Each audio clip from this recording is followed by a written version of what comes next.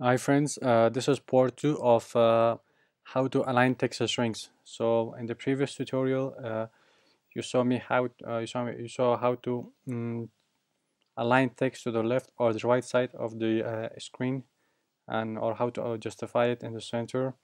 So we did it using the rjust, ljust and center methods but this time I'm going to be teaching you to use the format so you can do it by let's say this time uh,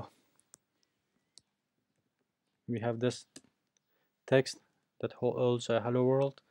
This time let's use format. So you're saying format and this time you're saying use the text variable which holds hello world and we are saying let's say let's make it 16 so this time what it does is that it brings hello world to the right side and it puts in some cut. Sorry let me one two three four. One two three four five. So it puts five empty spaces on the left side and brings hello world. So hello is 5 world is 5 there's a space total of 11 and it puts another 5 for a total of 16 we can do the same if we use this character what this time does is that it puts five empty spaces to the right side of it. But let's say we want to align it. Sorry we put it in the center. So in order to put it in the center we do this. We use the caret symbol and use 21 so that five of them spaces will be on the left side and another five would be on the right side. So let's press enter. This time we can see that there's five spaces in here and another five spaces in here. So let's say this time we want to put something um, like uh, the previous one I showed you guys how to put empty spaces but in this one uh, let's say we want to put something like uh, percentage sign.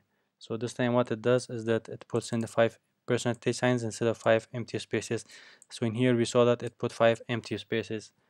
Now we can do the same for this as well this time it put five uh, percentage signs on the right side. And if we put in let's say dollar sign caret and 21 what it does is it puts five dollar characters on the left side and then another five dollar characters on the right side.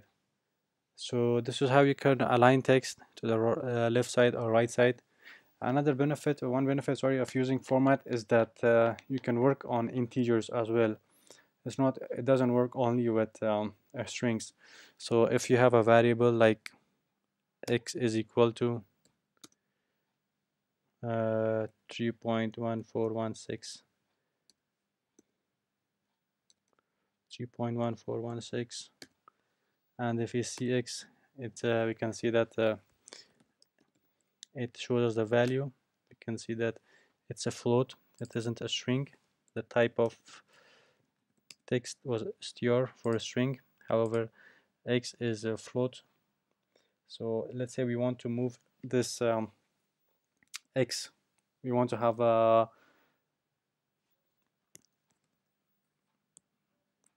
let's use format. Let's say, say we want to bring it we want to put in some uh, you let's say use the x variable which holds the string sorry which holds the numbers. And uh, we want to have uh, we want to have this is uh, one two three four five six. So we want to have five spaces on the left side. So what we do is uh, we put in the greater than symbol and then 11 so what it does is puts five empty spaces in front of it. We can also do five on the any number of spaces on the right side or you can justify to the center or put it in the center as I showed in the previous examples Another good thing about this is that you can also truncate it, truncate the uh, string. So in here, let's say that we are saying uh, use this. So it puts it in the center and let's say we just want to have two decimal points. So in here it says 1416, but we only want to have 1 4. So in order to do that, what is you're doing is saying you're saying 2f so what it does is that in here you can see that it only uses two characters after the decimal point not one six only one four. So there are lots of other variations that you can use with this. So this is it for this tutorial guys. If you have any questions feel free to put it in the comment section below and uh, I'll see you guys in the next one